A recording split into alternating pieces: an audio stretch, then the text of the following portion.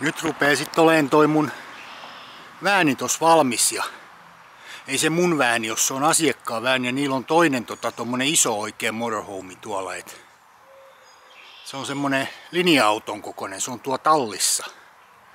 Ne ei sillä enää paljon aja, kun on niin vanhoja, mutta mä oon tässä vähän tehnyt pihatöitäkin täällä ja katkasin vähän oksia tässä ja on niitä kliinannut. Tossa on kuitenkin se vääni, miskä ne tuli sisälle. Et täytyy vielä huomenna tulla kerran maalaamaan. Ja siellä on tosiaan tommonen Ergendissoni on tuolla katolla. Ja sitten siellä autossa on oma tietysti tuolla sisällä. Et joo, tossa on tommonen teltta, kun mä pistin viime kesänä pystyyn. Et kyllä se siinä on talven pysynyt. Ja joo, tommonen vääni ei tosiaan ole mun vääni, et se on kyllä asiakkaan vääni. Ja sinne tulee sähköt ja kaikki kun tohon pistää kiinni. Ne on lähdössä jonnekin pohjoiseen sillä, niin sen takia ne piti saada toi vesihomma. Ne menee tällä pienellä nyt nykyään, kun ei se ole niin kaukana. Et.